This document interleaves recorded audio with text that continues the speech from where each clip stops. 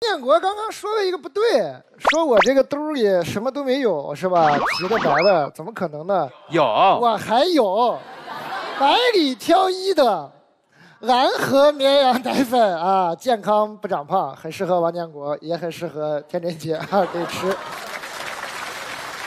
我们下一位演员，在之前的节目里，你们可能也经常在热搜上看到他，因为讨论一些这个男性的话题，被一些不太理解他的人攻击。但是呢，大部分人还是很喜欢他的这种蔫坏蔫坏的风格啊！让我们欢迎杨丽。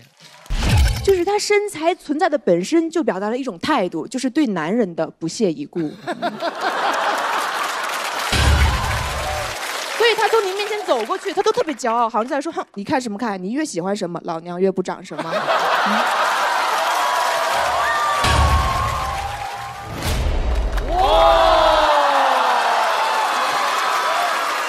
我太开心了，就一票，我以后就是半决赛选手了。嗯，我上一季就没进半决赛，我这一季终于进半决赛了。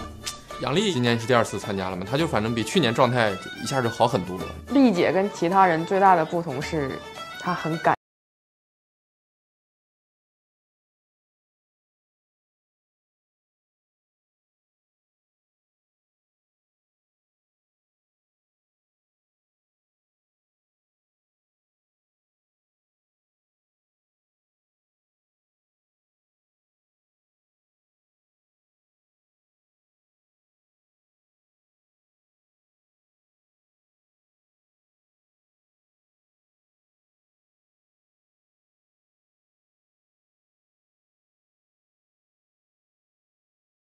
杨丽选择出场顺序，其实顺序对一场演出挺重要的，我就很纠结嘛。如果我贴在上面，我就有可能是第二个，对因为所有人都会往后对贴。对对对。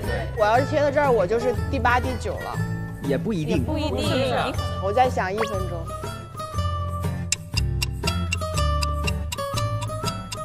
你咋的了你？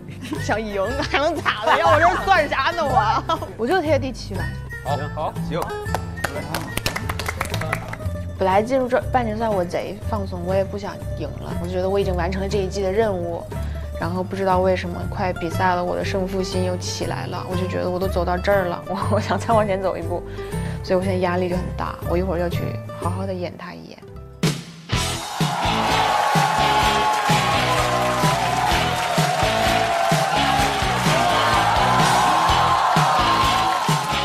哦，辣妹啊，慧眼什么就是好看，好看就是一切。对啊，马上演出呢。这是要拍灯了啊！直接拍啊！大家好，我是杨丽。哎，我进半决赛了，两季了，我终于进半决赛了。我这一季也有点表现的太好了，真的，从来都没输过，目前这样。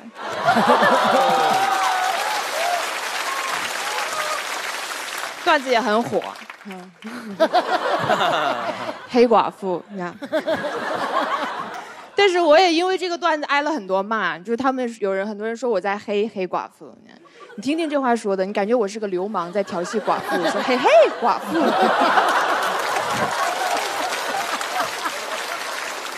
现在就是你提谁就是黑谁，你知道黑寡妇她就是一个电影形象啊，她都不存在，你提她都是黑她，提真人就更不行了，你知道？上一季我也挨骂，因为我也讲了一个段子，讲了一个偶像抽烟的事儿，你知道？然后就有好多粉丝来骂我，就对我进行各种诅咒啊、脏话，说我又老又土又丑，就不一一复述了。反正就是一些我根本不在意的事情。你知道然后还有人说我人品不好，不在意别人的感受，没有底线，为人恶毒。当时觉得这现在这些年轻人年龄不大，看人倒是还挺准的。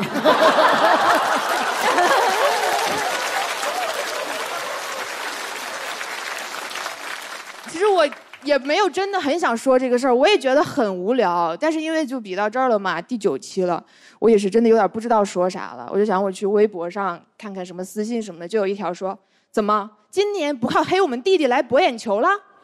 看完以后我就觉得也是个办法。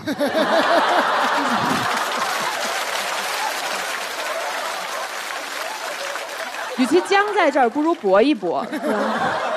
所以。你们应该也看出来，我这个人人生应该是没有什么遗憾的。你知道，我这个人说话做事不光不留遗憾，我都不留余地。不就是死吗？我怕吗？我怕。死可太可怕了，你们死过吗？应该没有，你知道，就是 我前一阵做了一个手术，很小的手术，但是因为你知道我没怎么做过手术，我上一次做手术的时候还是我一个礼拜前整容的时候，你知道，没有没有没有没有。我没怎么做过手术，真的是很小的手术。我长了一个子宫内膜息肉，就只要把它切了就好了。然后你就也没有任何后遗症，你整个人也不会影响你的生活，你知道。但当时你知道我的胆量都不足以支撑到听完医生说完整个结论。他刚说，嗯，你的子宫里长了一个东西，然后我就说完了，癌症。因为你知道，以我的性格，我的前半生一定干过很多值得报应的事儿，你知道。我就想啊，我有的时候真的不应该那样，我不应该在台上那么说人家来着。我就开始回忆我人生做的每一件错事儿，一件一件仔细的忏悔，然后这一天就过去了。然后我还跟你说，杨丽不能再忏悔了，再忏悔这辈子就过去了。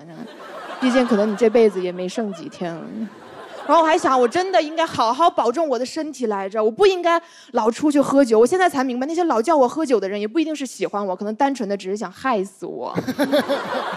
最让我难受的是，我想到以后再也没有人听我说脱口秀了，我也没有人，我也不会出现在脱口秀里了，我只会出现在一些各大公众号的养生文章里。嗯，文章的标题我都猜得到，应该就会叫“熬夜究竟有多伤身体”。脱口秀黑寡妇熬走别人之前，先熬走了自己。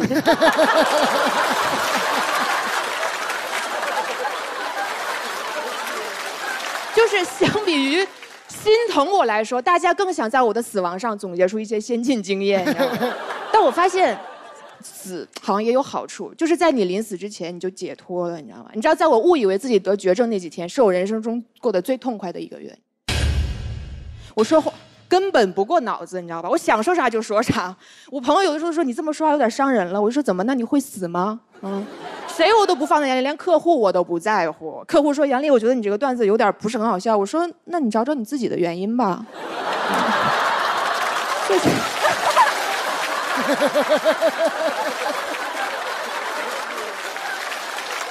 啥别人都觉得好笑，就你觉得不好笑？不好笑，别不好笑，别合作了呀！我的人生差你这点钱吗？我人生差的是一个奇迹，你有吗？对。但是，但是因为 子宫内膜息肉是一个有点妇科病啊，毕竟我还是一个少女，所以我每次跟他们聊到我的病情的时候，我都说的很模糊，也不是很明白，所以他们就只知道我的肚子里长了一个东西。所以过了几天以后，所有人都在传我怀孕了，听说是 Rock 的。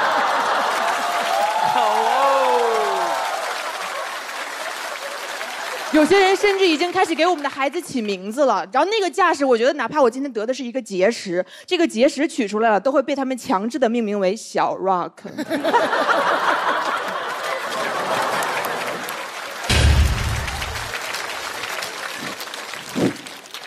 对不起了，Rock，我就是想赢。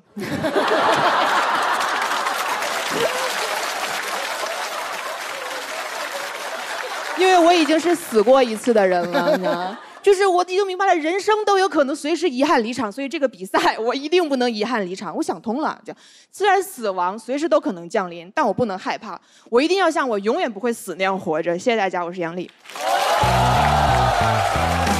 谢杨丽。喜欢杨丽的朋友不要忘记为她投票。通道关闭还有最后三秒钟，三二一。请锁票。这个我这个您您是怎么回事？我先要问一下。啊？就是第一次有，就是演员还一句话都没说就出现了领笑员拍灯的情况。我是觉得他这次他一出来的话，他是很自信的，就是能顿时就感觉到他非常的自信，就是那种自信都已经到了自负的程度了，就是差不多。但是我觉得有的时候就是放开一点，总比收着要好很多。你你说过了，可以给给你剪掉，但你千万不要没演。就就遗憾了哦，这个听起来特别符合郑爽老师一贯的人生标准，就是咱不管对不对，先说吧。对呀，就是说总有一些点能 get 到大家，对，能 get 到别人心里。对。我我你这个灯是第二个奇怪的东西，我不奇怪啊。你是拍在了腰眼儿上。你知道，在我误以为自己得绝症那几天，是我人生中过得最痛快的一个月。我说话根本不过脑子，你知道吧？我想说啥就说啥。因为他说那个知道自个儿死的时候是最最放松的，是吧？那那段说了一段什么？解解脱吧，解脱那种。对，我觉得那个那个首先我觉得特别靠谱。但是我现在有一个死想明白的一件事儿：罗老师为什么要要要要很厉害才您那天要拍灯嘛？因为今天这个话题说的他已经说到死了，而且还说的那么好玩。其实你没说话之前，我也在想一个问题，就是我今天出了什么问题？今天，但是。我怀疑他前面特别特别牛的时候，你没有看到，你没来那几场，他好到哦，就是之前的，就是那种闪闪发光、熠熠生辉那么好啊。是的，所以对吧？这也是我没有拍的原因。您就是希望他每一场都能特别特别厉害，要不然我不知道我们在这儿是干什么的。有道理，有道理。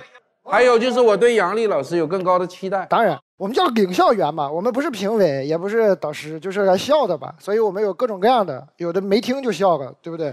有的听不是笑点的地方他就笑了。对啊。那有的就是笑话听得多，他怎么听他都觉得可以更好，那是很正常的。我们就是来笑的。那个天真姐也作为刚刚这个动过动过手术的人，你你们交流交流呢？我我首先那个拍的那个点啊，我觉得他那个特别精彩，但是我不知道观众 get 到没有。小 Rock 他说的是结石，然后我就觉得哇，就是有一种中英双压的感觉，就是 就觉得好巧妙，所以我就拍灯了。然后我现在看杨丽，我觉得我戴着有色眼镜，就是我实在太喜欢她了，尤其是就是她现在身上带了一种那种强烈的女流氓气质，真的非常吸引人。而且我已经感受到了，他现在可能是上了几次热搜之后想开了，就完全不在意别人骂他了，就是他这这整个我也很害怕，其实，但还是想赢，你知道吗？对，没有人不怕被骂，还是害怕被骂。嗯，你现在有机会找补几句。对，就这样我觉得很多东西播出了就跟自己没啥关系了，就是夸我的人也很多，对我也是误解。我觉得就还是少吵架吧，大家。因为他去年讲那个段子，他是说他很理解那个明星偶像不能在公共场合那样就做一些自己想做的事儿，他的角度是在理解他。对，很多人怀疑我的动机，觉得我在挑起矛盾什么的。但我就很委屈，因为我是想逗大家笑。我希望大家在看段子的时候，不要当真。我们说的话都是为了好笑。我真的特别喜欢他那个气质，就是那种很直、很混不吝、很很很率真的那个东西，那个我也是特别特别喜欢。我就觉得这女孩挺有个性的，然后非常敢讲，就是她生活中应该也是一个很克制的一个人，或者是说也比较文静吧，只是在内心有腹黑的一面，但是她敢把这一面放给大家看，我觉得还是非常勇敢的行为的。呃，我们现在这个前面五位表演结束之后，目前得票最高的人就直接晋级了。